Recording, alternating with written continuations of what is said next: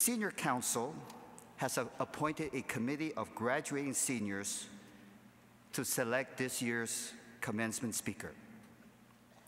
It is my privilege to invite a senior, Miss Emily Burke, to introduce this year's commencement speaker.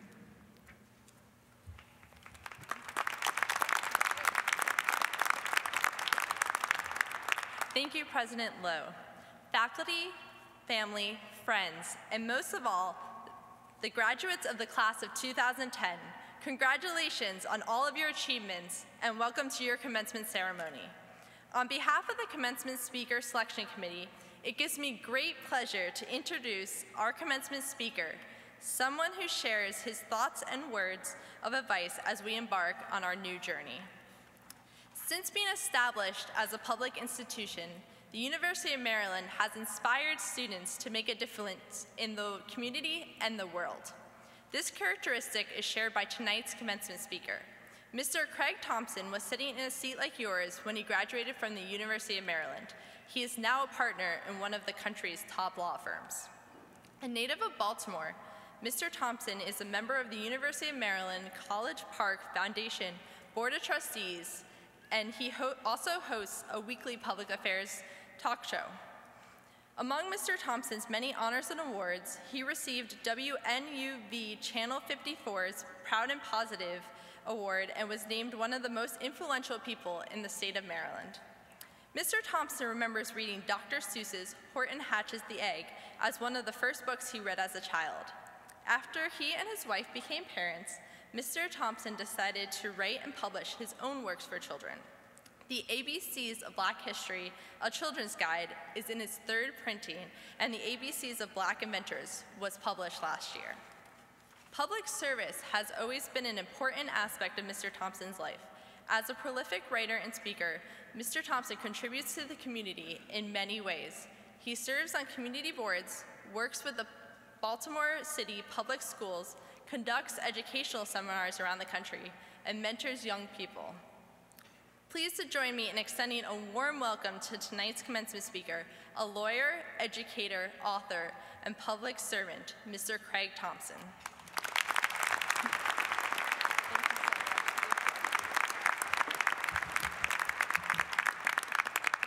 Somebody said that it couldn't be done, but they with a chuckle replied that maybe it couldn't, but they would be ones who wouldn't say so till they tried. So they buckled right in with a trace of a grin on their faces. If they worried, they hid it. They started to sing as they tackled the thing that couldn't be done, and they did it. Now, Dr. Loh, somebody scoffed, oh, you'll never do that. At least no one ever has done it.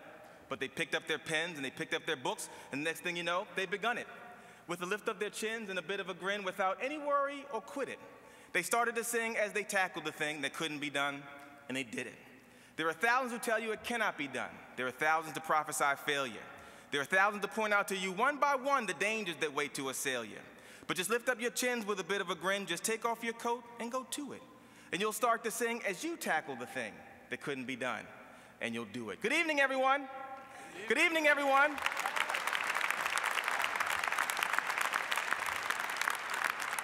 Dr. Loh, distinguished platform guest, faculty, staff, friends, family, uh, people standing against the walls, and most important, to the class of 2K10.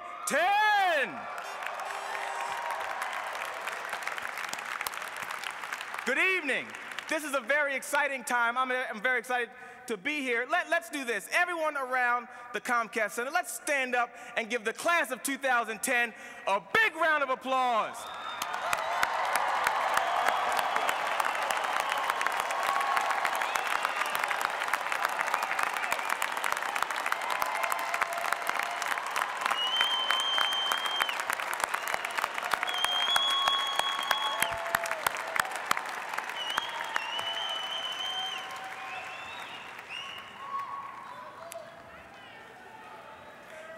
Right, no shout outs. This is an extremely important time in your lives.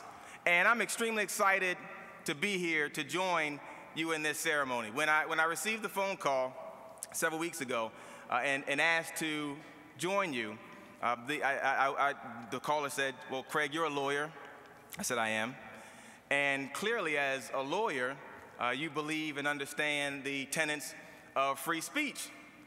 I said, Of course, I believe in free speech. And they said, Well, good, because the students want you to give one. on December 18th. And when they told me what it was for, I said, Of course. Of course. And as a lawyer, I get a chance to travel around uh, not only for cases that I handle, but also uh, to give lectures. And several uh, uh weeks ago, I happened to take a trip uh, to Atlanta. Not a, not a long trip, but it's a, a trip that gave me a chance to write while I was on the plane. And I had the window seat. And the person who was sitting next to me in the middle seat was from uh, England, had a very strong accent. The person who was sitting next to him was from Germany and spoke three distinct languages spoke German, spoke Spanish, and spoke English. And when people fly, there, there's some people who need sedatives.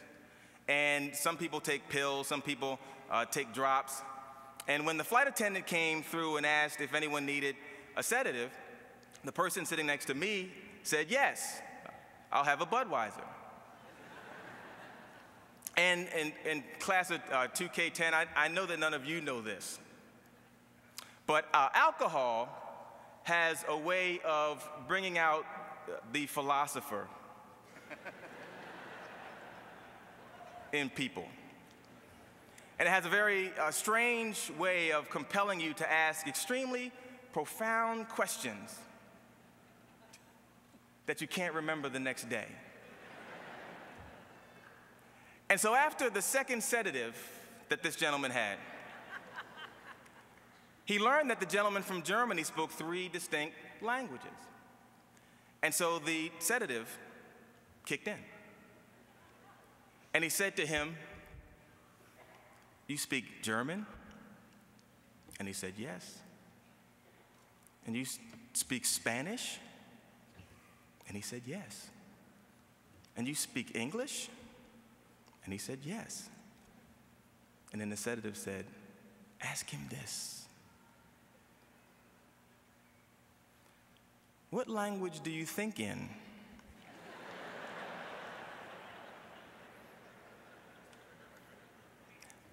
And remember, I'm taking notes. I said, Woo, that was a good question.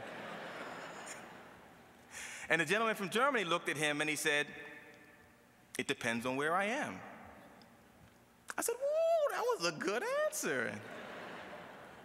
now, clearly, this uh, sedated man next to me didn't know that I would use uh, his words on December 18th during my free speech. But, class of 2010, my question to you is what language do you think in? Not, not German, Spanish, English, or Greek, but what social language do you think in? What, what fundamental language do you think in for success? And as we move forward in this next phase in your lives, it's important to think in a new language. And I want to ask you to think of a language or in a language that encourages you to give, that encourages you to give. As Emily mentioned, I'm from uh, Baltimore, and uh, there are a lot of, lot of very interesting people where, where I'm from. And Bal- shout outs to Baltimore. And, and, and, and as I was walking to, to work one day, a gentleman walked up to me and he said, Excuse me, man what's the best nation in the world? Now, I'm on my way to work, so I really don't have time to engage in games. But I said, of course, it's the United States. Nope. I said, well, um, the country in, in Africa? Nope. So now I'm thinking he's trying to be funny, so I'm going to try to be funny. And so I said, uh, Janet Jackson's Rhythm Nation? I don't nope. One Nation Under a Groove? I nope.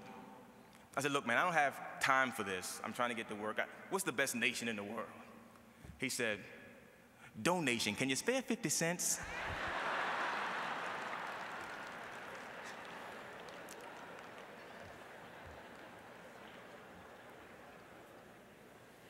so, Dr. Farvardin, just for his creativity, I uh, gave him just a little something.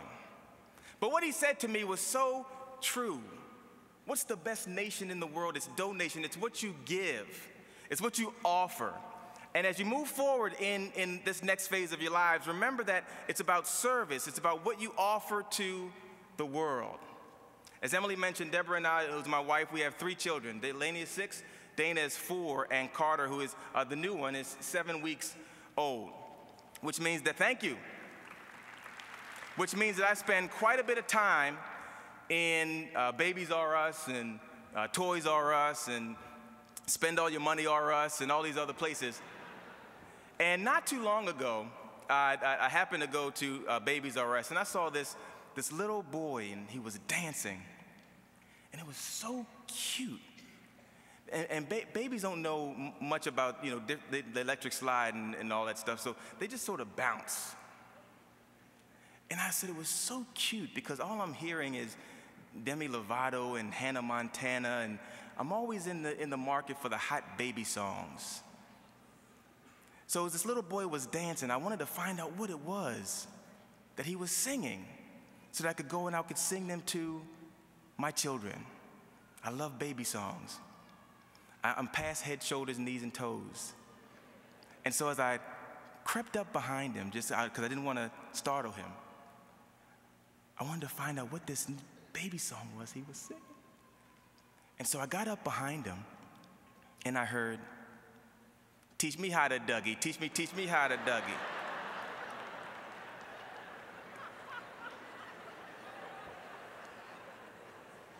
Everybody love me. Everybody love me.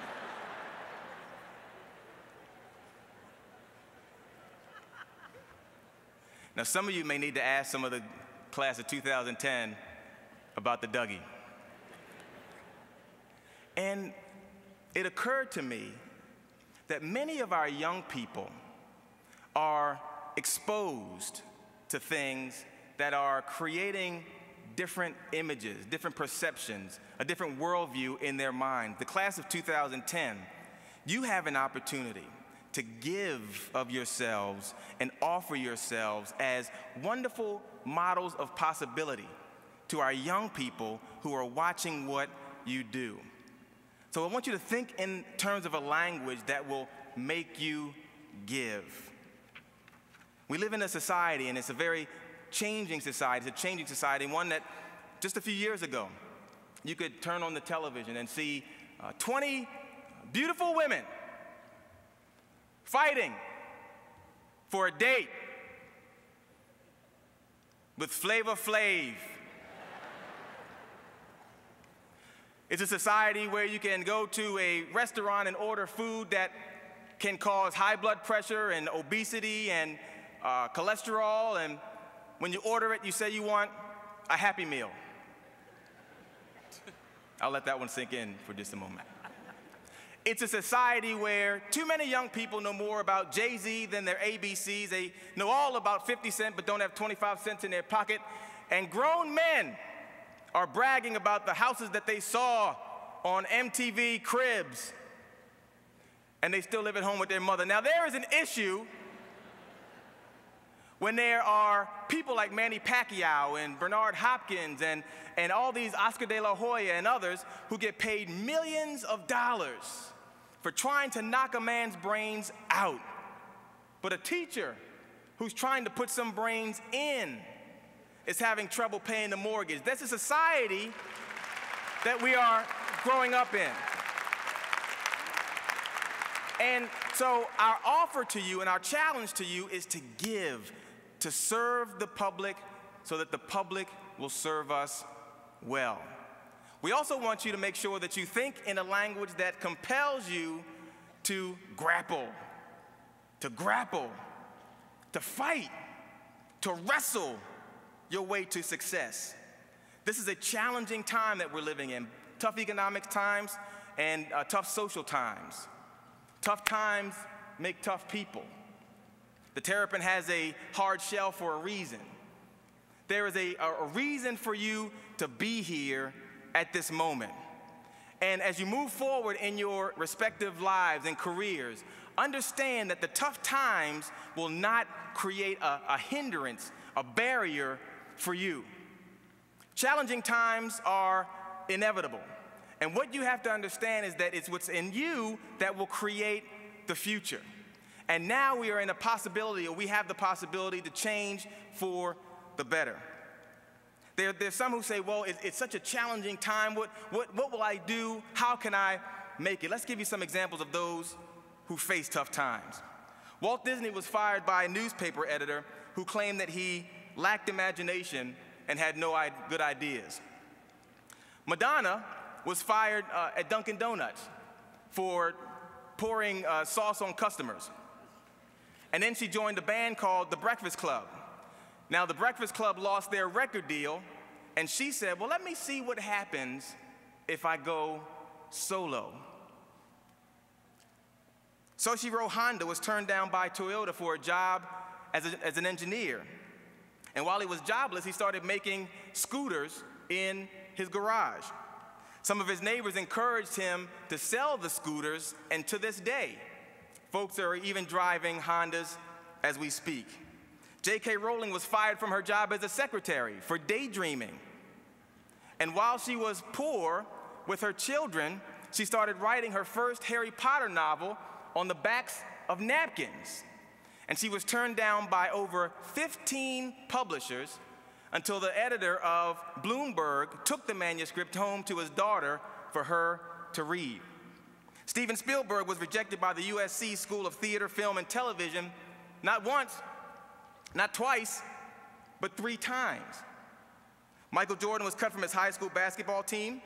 Winston Churchill and Abraham Lincoln lost just about every elected office they sought before becoming prime minister and president, respectively. Oprah Winfrey was fired from her first job as a TV report reporter because she was told that she was unfit for television. And Dr. Seuss, yes, even Dr. Seuss, was rejected by 27 different publishers before one agreed to print To Think That I Saw It on Mulberry Street. Tough times make tough people. Circumstances don't crush people, they reveal them. And the circumstances that are in, a, in our environment for you will reveal who you are. So think in a language that compels you to grapple, to fight, to claw, to scratch, to bum rush your way to success. And when you do that, you understand the power of persistence. Calvin Coolidge said it best nothing takes the place of persistence. Talent will not. The world is full of talented people who are unsuccessful. Genius will not. Unrewarded genius is almost a proverb. Education will not. The world is full of educated derelicts. It's time for all of us to understand that persistence and determination are omnipotent. I have a stack of, of rejection letters from various law schools that I keep in my trial bag just to keep me hungry. And I read them from time to time, and the language is quite flowery.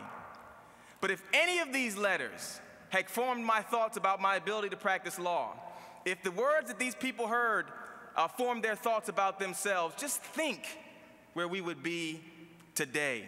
Just think where we will be in the future if you allow any person, any circumstance, any environment, any person, place, or thing to challenge you and change the way you perceive yourself. Think in a language of grappling. The earth covers 196,940,400 square miles. There are almost 6.9 billion people on the face of the earth, over 309 million people in the United States alone. But only one Craig, only one Wallace, only one Danita, only one you, only one Wayne Mike McIntosh, only one you and the universe is structured in such a way that each and every one of us has a destiny to fulfill. Our job is to do it and to never allow anything or anyone to change our mind. No one can chump us out of our destiny. So think in the language of grappling. And last, we want to make sure that we think in a language that encourages and compels us to go. There are 1,440 seconds in each day, minutes in each day. And what we have to understand is that each minute counts. And when you take the power of your mind to grow and to go, understand that there is no time but the present. And when you move forward, you have to do so now. This is not a dress rehearsal. This is a life that is moving right now. There is no tomorrow. Make sure that you go right now and fulfill your dreams. Your parents, your family, your friends, and our nation are waiting for each and every one of you to move forward and to go. Even if you live to be 150 years old, in the universal clock, each and every one of us is really only here for about a minute. And the poem says it best I have only just a minute, 60 seconds in it. Forced upon me, can't refuse it. Didn't seek it, didn't choose it. But I know that I must use it. I will suffer if I lose it, pay account if I abuse it. Just a tiny little minute, but eternity is in it. Class of 2010, repeat after me. I have only just a minute. 60 seconds in it. Forced upon me, can't refuse it. Didn't seek it, didn't choose it. But I know that I must use it. I will suffer if I lose it. Pay account if I abuse it. Just a tiny little minute, but eternity is in it. Now give yourselves a big round of applause for understanding the power of giving, of grappling, and of going. And when you understand that power, when you think in that language of giving, and when you think in that language of grappling, of fighting, of scratching and clawing to make sure that you succeed, and when you think in that language of going, making sure that you understand that time is now and you must maximize every single moment, our society, our world will be better. And so we bring you words of congratulations. And because the University of Maryland is a global community, I bring you words of congratulations from around the world. From my friends in Ghana, I say Mo Wayadi. My friends in Greece say Sinkadatidia. My friends in Germany say Glückwunsch. My friends in Korea say Chukamnida. My friends in Spain say Felicidades or Felicitaciones. It depends on where you're from. My friends in Israel say Mazel Tov. And my friends from Baltimore say, go ahead, y'all, represent, handle your business, get your swag on, and do your thing like it's supposed to be done. Class of 2010, congratulations, you made your mark on Maryland. Now make your mark on the world.